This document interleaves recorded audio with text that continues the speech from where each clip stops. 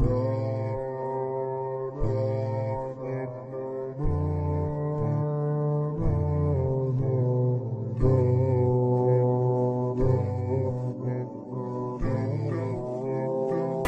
We're here on this special day. Our hearts are full of pleasure. A day that brings the two of you close together. We're gathered here to celebrate a moment you'll always treasure. We ask Allah to make your love last forever. Let's raise our hands and make dua like the Prophet taught us. And with one voice, let's all say.